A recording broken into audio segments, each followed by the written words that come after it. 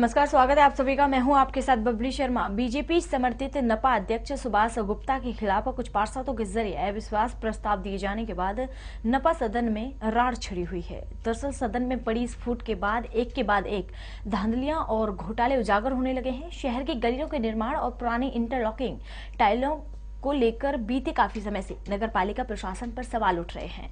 इस मामले को लेकर पूर्व नपा अध्यक्ष रामनिवास ने अपने कार्यालय में प्रेस वार्ता की। उन्होंने आरोप लगाया है कि विकास कार्यों की आड़ में जमकर धांधली हुई है। शहर के विभिन्न वार्डों में बनाई जा रही गलियों में से उखाड़ी गई लाखों इंटरलॉकिंग टाइल्स कुछ पार्षदों ने मिली भगत कर बेच दी है। पूर्व नपा अध्यक्ष ने गलियों के निर्माण की उच्च स्तरीय जाँच करवाए जाने की मांग की है। टाइल घोटाले पर नपा सचिव ने कहा है कि उनके पास टाइलें बेचने की कोई शिकायत नहीं है। जो लॉकिंग टैलेंट हैं, कम से कम लाखों रुपए का चुना।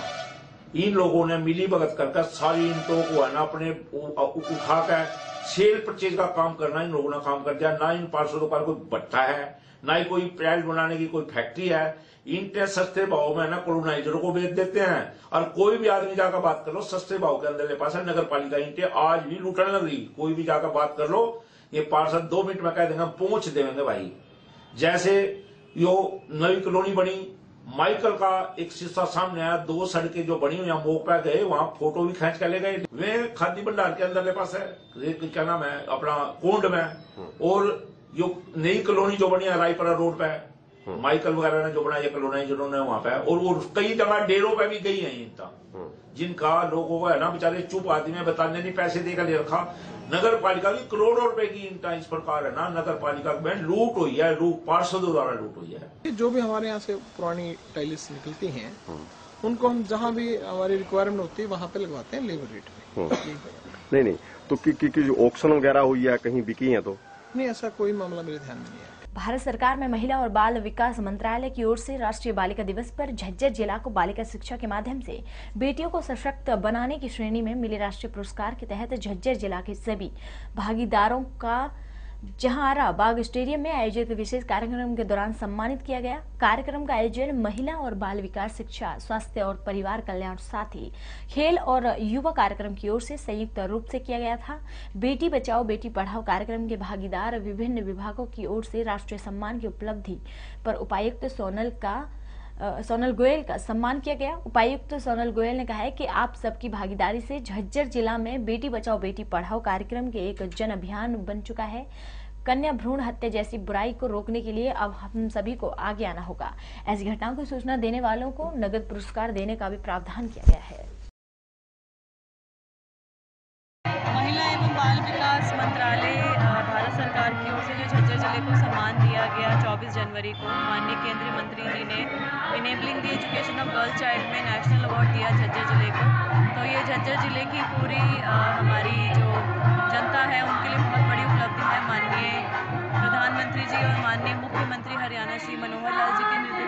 जितने भी विभाग यहाँ काम कर रहे हैं, विशेष रूप से डब्ल्यूसीडी विभाग एजुकेशन विभाग हेल्थ विभाग स्पोर्ट्स विभाग पंचायत विभाग, उन सब के मिले जुले प्रयासों का ये परिणाम है। तो आज जो यहाँ कार्यक्रम आयोजित किया गया, इसके लिए मैं सभी विभागों का धन्यवाद देना चाहूँगी और ज़िले की सभी पंचायतों का धन्यवाद देना चाहूँगी कि उन्होंने इस मुहिम को एक जन आंदोलन के रूप में वो लोग लेके गए हैं, जिसके साथ परिणाम देखने को मिल रहे हैं। एक्सेस सेक्स रेशो को लेकर भी आपने मैसेज दिया।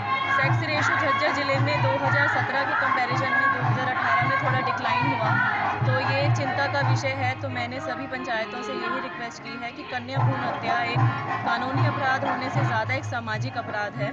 तो इस इस अपराध को हमें रोकना है तो हमारी झज्जर ज़िले में इस तरीके की जो भी अगर कोई इंसिडेंट्स उनके सामने आते हैं तो विभाग के अधिकारी जो निचले स्तर पे पोस्टेड हैं, आशा आंगनबाड़ी वर्कर वो हमें सूचना तुरंत दें और साथ ही साथ हमने पीसीपीएनडीटी एक्ट के अंदर भी एमटीपी एक्ट के अंदर भी कुछ इनाम की भी घोषणा की है। वहीं यमुनानगर के कस्बा खिजराबाद के बेलगढ़ गाँव स्थित पूर्व मंत्री निर्मल सिंह के घोड़ों के फार्म हाउस पर 2 जून को एक खून से लथपथ छह साल की मासूम की लाश खड़ी में। पड़ी मिली है। एक जून को ही घर से लापता हो गई थी और उसका परिवार उसे दिन रात ढूंढता रहा, लेकिन जब लड़की की लाश मिली तो उसे देखते ही परिवार के लोगों के पाँव तले से ज़मीन निकल गई। पुलिस ने इस मामले में जाँच करने के बाद फार्म हाउस पर गाँव काम करने वाले देवी सिंह को हिरासत में लेकर जब पूछताछ की तो पुलिस के सामने जो आरोपी ने बयान दिए वे चौंकाने वाले थे और इन बयानों में हैवानियत देखी जा रही थी। आरोपी देवी सिंह ने माना है कि उसने मासूम बच्ची को रोते हुए देख उसे गोद में उठा लिया और बाद में उसे एक इंजेक्शन लगाया, जिससे वह बेसुध हो गई। बता दें कि देवी सिंह ने जो इंजेक्शन मासूम को लगाया था, वह घोड़ों को बेहोश करने के लिए लगाया जाता था।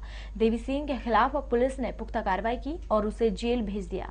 लेकिन इस मामले में फास्ट ट्रैक कोर्ट में आज फैसला सुनाते हुए यह कह दिया गया है कि आरोपी देवी सिंह ने एक बड़ी ही क्रूरता से हैवानियत की थी और उसी के चलते उसे अब आखिरी सांस तक जेल की सलाखों के बीच रहना पड़ेगा।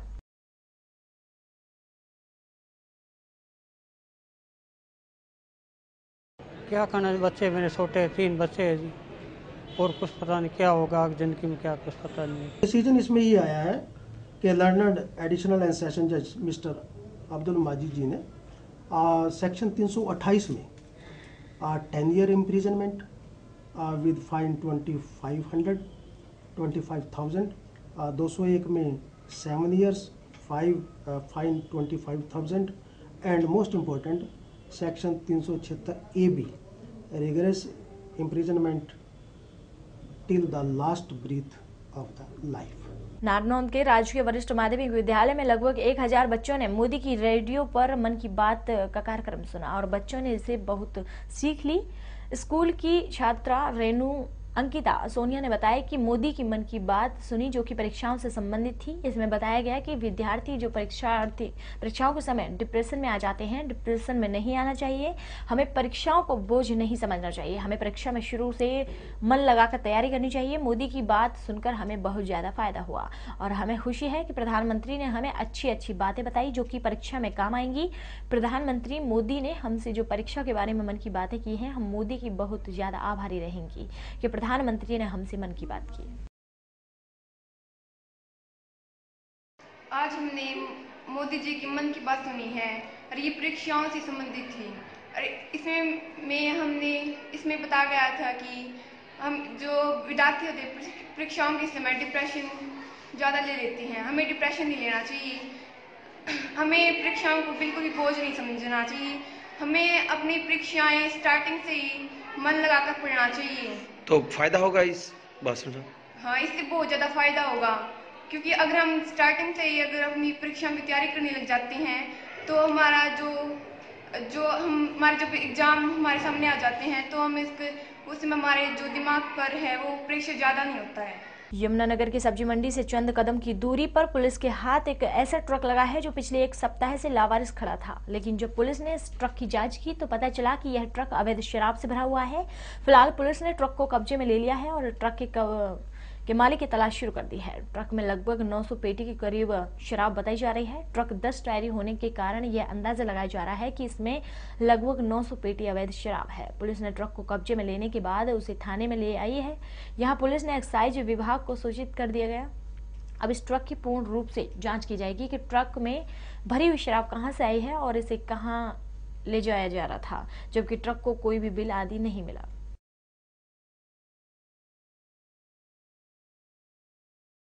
डीटी साहब हमारे वहाँ मौजूद थे, उन्होंने भेजा है यहाँ पे। भाई, देख के आओ। तो इन्होंने ये बताया कि भाई, गाड़ी वहाँ खड़ी थी। वहाँ से हम इंडस्ट्री एरिया से अपने आप ही खुद चला के लाए हैं। और कागज़ वगैरह अब हमारे सामने इन्होंने देख लिए हैं, कोई कागज़ नहीं मिला। तो जैसे भी ये कार्रवाई करके हमें गाड़ी को पेश करेंगे तो आगे की कार्रवाई बाद में की जाएगी। जैसे गाड़ी बढ़िया तो नौ सौ होंगी। तो छोटी गाड़ी में छः सौ पेटी ये तो देखने के बाद ही पता लगेगा जी अभी तो गाड़ी खोलने के बाद या पेटी देखने के बाद ही बता पाएँगे। अभी हमें इन्फॉर्मेशन मिली थी कि इंडस्ट्रियल एरिया में एक ट्रक खड़ा है, जिसको हम ट्रक को यहाँ पे ले गए थे थाने में और हमने एक्साइज स्टाफ को बुलाया था, क्योंकि हमें शक था शायद इसमें दारू लोड है।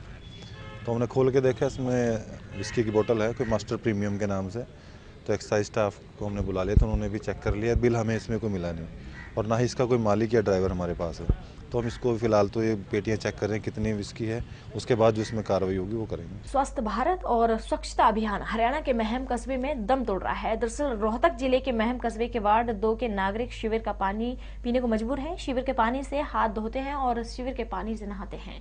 वहीं शिविर के पानी से कपड़े भी धोते हैं और बात यही खत्म नहीं होती, पशुओं को भी शिविर का पानी पिलाते हैं। उन्हें शिविर के पानी से भी नहलाते हैं। महम कस्बे के वार्ड नंबर दो में न केवल व्यक्तियों का स्वास्थ्य स्वच्छता को ठेस पहुँच रही है, बल्कि यहाँ के तो पशु भी सुरक्षित नहीं है। वार्ड वासियों ने बताया कि पिछले एक साल से यह समस्या बनी हुई है। डीसी, एसडीएम, विभागीय एसडीओ सहित सीएम विंडो पर भी इसकी शिकायत दी गई। सीएम विंडो से जवाब ही आया है कि आपकी लाइन को ठीक कर दिया गया है और अब साफ़ पीने का पानी आपकी लाइन में आ रहा है। हमारे वार्ड के अंदर सप्लाई के साथ सीवर का पानी आ रहा है। जी, करीब एक साल से समस्या है, जिसको बार बार एसडीओ साहब लिखित में भी दिया गया और टेलीफोन पर भी संपर्क किया गया, जो बार बार आश्वासन देता रहा। एसडीएम साहब को भी दरखास्त दी गई, सीएम विंडो पर भी लगाई गई। सीएम विंडो वाले ने जवाब दिया है कि आपकी लाइन बदल दी गई है और पानी साफ़ आ रहा है। आज आपके सामने आए हैं, आपको देखा है, पानी सप्लाई के साथ सीवर का पानी आ रहा है, जो पीने के योग्य नहीं है, जिससे वार्डवासी बीमार पड़े हैं, जो हॉस्पिटल में हैं, जिसकी समस्या कोई समाधान नहीं कर रहा। महकमा डीसी साहब के रोहतक सीएम विंडो चंडीगढ़। लेकिन अब ये कल परसों सीएम विंडो का फैसला आया है। कि साहब ने आपकी लाइन बदल दी, पानी ठीक आ रहा है। लेकिन ये आप कैसे आ रही है, देखो पानी कैसे आ रहा है। जी, हमारे सप्लाई के पानी की है, जो कि लगभग एक साल से सीवर का पानी आ रहा है। और दूसरी बात ये है कि सिर्फ़ पैंतीस आधा घंटा पानी छोड़ते हैं, जिसमें से हमने पंद्रह मिनट पानी तो नालियों में चलाना पड़ता है उसके बाद भी इसमें बदबू रहती है, पीने के लायक बिल्कुल भी नहीं, नहाने नहाने के काबिल है नहाते हैं, जैसे शरीर में खुजली, फोड़े वगैरह बहुत चरम रोग हो गए हैं, बच्चों के भी। थाना उकलाना के अधीनस्थ गाँव के किनाला में पावड़ा रोड पर गौवंश से भरा एक ट्रक पकड़ा गया है, जिसमें आठ बैल ठूस ठूस कर बने हुए थे। मिली जानकारी के अनुसार, किनाला से पावड़ा रोड पर गौवंश से भरा ट्रक किसी कारणवश खराब हो गया और ग्रामीणों को आते देख गौ तस्कर भाग खड़े हुए। ट्रक में हुई हलचल से जब ग्रामीणों ने देखा तो ट्रक के अंदर आठ बैल ठूस ठूस कर भरे हुए थे, जिनमें से एक बैल तो बुरी तरह जख्मी था। और लहूलुहान हो चुका था। ग्रामीणों ने इसकी सूचना उकलाना पुलिस को दी। उकलाना पुलिस ने मौके पर पहुंचकर ट्रक को अपने कब्जे में लेकर कार्रवाई शुरू कर दी। पुलिस जाँच अधिकारी के अनुसार यूपी नंबर के इस ट्रक में तस्करी के लिए बैल भरकर ले जाए जा रहे थे और पता चलने पर तस्कर गाड़ी छोड़कर मौके से फरार हो गए, जबकि बैलों को सुरक्षित गौशाला में भेज दिया गया है। फ़िलहाल पुलिस आगामी कार्रवाई करने में जुटी हुई है। आज जब सुबह हम खेत में आए, सुबह चार बजे की बात है, जब हम खेत में आए तो यहाँ पे ये गाड़ी खड़ी हुई थी। इसके साथ में एक छोटी गाड़ी भी थी, जो जिसके अंदर चार पाँच आदमी और थे, वो यहाँ पर, जो ये सुनने बैल इनको चढ़ा रहे थे। और वो जब हम यहाँ से आए, पुल के पास से यहाँ पर आए तो वो इन पशुओं को चढ़ा रहे थे, और जैसे हमने उनकी तरफ़ भागे तो इस गाड़ी को छोड़ गए और छोटी गाड़ी से उसको ले गए। जैसे ही हम यहाँ पर आए तो हमने देखा कि इसके अंदर पाँच सात सुनने बैल है जो ये गाड़ी यूपी की है, जिसके इसका नंबर प्लेट भी है और ये गाड़ी जो वो लोग थे वो एक छोटी गाड़ी लेकर फरार हो गए हैं। सरपंच ने सूचना दी कि एक ट्रक में कुछ बल्द भरे हुए हैं और नहर के ऊपर पापड़ा रोड पर खड़ा हुआ है। इस सूचना पाकर हम मौके पर पूछे हैं। लेकिन ट्रक ड्राइवर हुआ व्यक्ति जो थे वो भाग गए मौके से। आधुनिक एंबुलेंस से फतेहाबाद स्वास्थ्य विभाग लेस हुआ है। दरअसल जिला को 10 नई आधुनिक एंबुलेंस मिली है। एंबुलेंस में सीसीटीवी लगे हुए हैं और बायोमेट्रिक हाजिरी भी दर्ज होगी। मरीज़ को लेटाने के लिए ऑटोमेटिक स्ट्रेचर की सुविधा भी दी गई है। एंबुलेंस के कंट्रोल रूम के फ्लीट मैनेजर बोले कि आधुनिक तकनीक से लैस एंबुलेंस सेवा से मरीजों को बेहतर एंबुलेंस सेवा मिलेगी। नागरिक अस्पताल की एंबुलेंस में लगे चालक और ईएमटी एंबुलेंस में मरीज़ को लेकर कहाँ, कब और किस वक्त पहुँचे, सहित अन्य कई चीज़ों पर नज़र रखी जा सकेगी। क्योंकि अब स्वस्थ, स्वास्थ्य विभाग ने ज़िले के नागरिक अस्पताल और सीएचसी के लिए जो नई एंबुलेंस भेजी हैं, उनमें सीसीटीवी कैमरे लगे हुए हैं।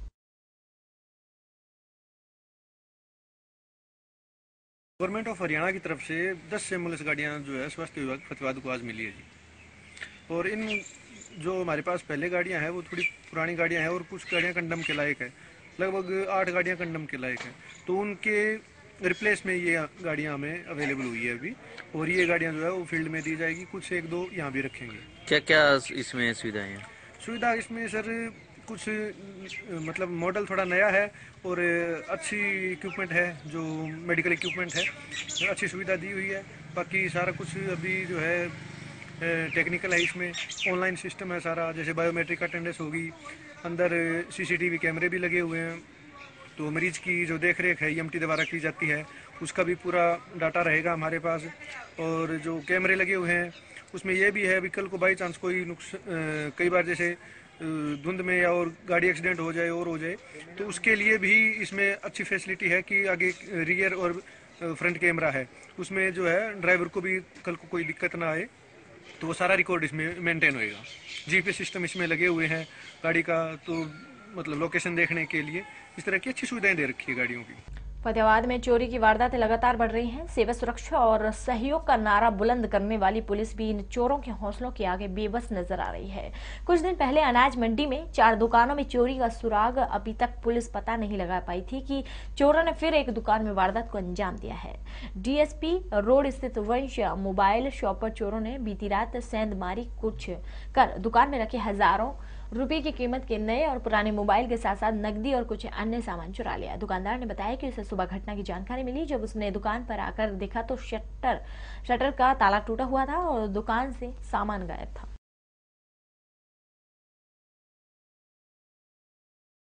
ये सुबह पाँच बजे आके दुकान संभाली है सुबह आकर किसी ने आकर उठाया है कि दुकान का शटर वगैरह टूटा पड़ा है। तो दुकान में आके संभाला तो सेकंड हैंड फ़ोन पड़े थे तीन चार तो वो भी नहीं पड़े न्यू है दो एक वो भी उठाए हुए हैं तो थोड़ी हेडफोन वगैरह थी जो है थोड़ी नकदी भी नहीं है इसके अंदर। तो कुल कुल मिला कितनी चोरी हुई है इसमें ये होगी कोई पैंतीस तीस पैंतीस हज़ार रुपये की। तो ताले बिल्कुल तोड़ गए? जमे बाहर पड़े टूटे दोनों टूटे हुए पड़े थे। गेट भी थोड़ा टूटा है ऊपर से। पर्यावरण प्रदूषण नियंत्रण और रोकथाम प्राधिकरण के चेयरमैन भूरे लाल की डांट का असर अब देखने लगा है। भूरेलाल की डांट डपट से डरी सहमी नगर परिषद ने अपना एक्शन प्लान तैयार कर लिया है और नगर परिषद अब कूड़ा डंपिंग ग्राउंड में पड़े कूड़े के ढेर को समतल करवाकर उसे मिट्टी डलवाने का काम करेगी। इसके साथ डंपिंग ग्राउंड पर सीसीटीवी और एक गार्ड रूम भी तैयार करवाया जाएगा ताकि कोई भी शख्स कूड़ा ना डाल पाए और सड़क पर कूड़ा ना फेंक सके। 24 जनवरी को भूरेलाल ने डंपिंग ग्राउंड का निरीक्षण किया था। हमारा जो मेन एक्शन जो प्लान है डंपिंग जो साइट है, उसका एक तो बाउंड्री वॉल का हमने टेंडर कर दिया है। सीसीटीवी कैमरा लग जाएगा रूम बन जाएगा वहाँ पे। उसके बाद उसका जो डंपिंग साइट पे जितना कूड़ा करकट जितना भी है, उसके लिए हमने मशीन वगैरह उसके लिए नोटिंग तैयार कर ली है। जल्द ही वहाँ काम शुरू कर देंगे। मिट्टी वगैरह डाल के उसको पूरा लेवल में लिए अट्ठाईस फरवरी से पहले पहले। पंडित एलआर कॉलेज में जॉब मेले का आयोजन किया गया है। देश के प्रधानमंत्री नरेंद्र मोदी के ज़रिए युवाओं को स्किल डेवलपमेंट की शिक्षा देने के क्रम में अब प्राइवेट संस्थान भी आगे आने लगे हैं। कॉलेज के प्रांगण में करीब 45 कंपनियों ने हिस्सा लिया और करीब 500 विद्यार्थियों के आवेदन के लिए लिए गए। जब मेले में आए कंपनी प्रतिनिधियों ने कहा है कि देश के प्रधानमंत्री नरेंद्र मोदी देश के युवाओं को रोज़गार देना चाहते हैं और उसी कड़ी में यहाँ भी सैकड़ों युवाओं को रोज़गार दिया गया है। वहीं एलसी भारद्वाज ने बताया कि हरियाणा के विभिन्न जिलों में से सैकड़ों युवा रोज़गार मेले में पहुँचे और कंपनियों को अपने साक्षात्कार दिया। और उन्होंने बताया कि मैकेनिकल इंजीनियर, आरटीआई, डिप्लोमा और बीटेक करने वाले छात्र छात्राओं के लिए पहली बार इस कॉलेज में जॉब मेले का आयोजन किया गया है। एक्चुअली ये एक मेगा जॉब फेयर अरेंज किया गया है। फरीदाबाद और आल ओवर हरियाणा के जो स्टूडेंट्स हैं, इंजीनियरिंग और टेक्निकल से रिलेटेड जो बच्चे हैं, उनके लिए। कितनी कंपनियाँ आज यहाँ प्लेसमेंट 46 इंडस्ट्रीज़ हैं जो अभी प्रेजेंट हैं बच्चों के लिए और मे बी फाइव और फोर अभी लिंग है। अभी की बात करें तो अभी तक कितने स्टूडेंट्स की जॉब लग गई होगी? और कितनों का रजिस्ट्रेशन हो गया होगा? रजिस्ट्रेशन में मोर देन 500 स्टूडेंट्स का रजिस्ट्रेशन हो चुका है। बाकी इंटरव्यू अभी कंटिन्यू है तो एट लास्ट शाम तक को पता चल पाएगा कितने बच्चे अरेंज हो जाएँगे उनके पास। क्या उद्देश्य रहा है शर्मा जी इस तरीके का जो उद्देश्य देखो उद्देश्य ये है कि जो हमारे प्रधानमंत्री जो हमारे नरेंद्र मोदी जी हैं उनके द्वारा एक चलाई गई स्किल डेवलपमेंट उनका पूरा जो ज़ोर है वो स्किल डेवलपमेंट पर है। हमारे इंडिया को कैसे सक्षम बनाना है? क्योंकि यदि बंदे स्किल रहेंगे तो देश आगे तरक्की करेगा। तो उसी कड़ी में हमने भी एक थोड़ा सा अपना सहयोग दिया है कि भाई बच्चों को अच्छे से अच्छा उनको टेक्निकल एजुकेशन प्रोवाइड कराई जाए और अच्छी जगह पे उनको प्लेस कराया जाए। यदि हमारा जो देश है, उसकी जो बेस है, वो नीम है, वो है हमारे बच्चे। यानी इंजीनियर्स या टेक्निकल पर्सन ही हमारा देश का जो मेन भविष्य है। यदि हमारा देश का जो भविष्य है, वो अच्छे हाथों में जाएगा अच्छा तरक्की करेगा तो देश तरक्की करेगा। यही हमारे मोदी जी की स्कीम है, उसी में हम आगे बढ़ रहे हैं। होती है जैसे हम अपनी पढ़ाई करते हैं कोई पढ़ाई करते हैं बी टेक हो डिप्लोमा और कोई सी पढ़ाई हो उस उसकी उसके बाद क्या होता है कि हम अपने सारे जो रिज्यूम वगैरह होते हैं उनको ले उनको लेकर कहीं भी जाते हैं। जैसी क्वालिफिकेशन होती है उसके हिसाब से हमें जॉब नहीं मिलती। Uh, मैं Samsung R N D institute Delhi से हूँ एंड ये मेरा फ़र्स्ट विज़िट है टू एल आर कॉलेज काफ़ी अच्छा इवेंट है एंड मैंने एक्सपेक्ट नहीं किया था कि इतना इंडस्ट्रीज़ और इतने स्टूडेंट्स यहाँ पार्टिसिपेट करेंगे। More than thousand students and forty six industries for first event of this kind is a big achievement and I would like to congratulate the मुनाफे के चक्कर में खाद्य सामग्री में मिलावट करने की बात तो अक्सर सामने आती है, लेकिन अब एक ऐसा वीडियो सामने आया है जो न केवल आम जनता की बल्कि शासन और प्रशासन की आँखों को भी खोल कर देगा वीडियो में अनाज की बोरियाँ से भरे एक ट्रक पर पाइप के सहारे पानी का छिड़काव किया जा रहा है। ट्रक में कोई एक या दो फिर 20-50 बोरियाँ नहीं है, बल्कि अनाज की सैकड़ों बोरियाँ ट्रक में लोड थी। ट्रक एक सर्विस स्टेशन के समीप ही खड़ा किया गया, जहाँ पानी की पाइप के सहारे काफ़ी देर तक पानी का छिड़काव किया जाता रहा। इस पूरे गौरव धंधे को देख रहे एक ग्रामीण ने अपने मोबाइल में कैद कर लिया और उसे सोशल मीडिया पर वायरल भी कर दिया।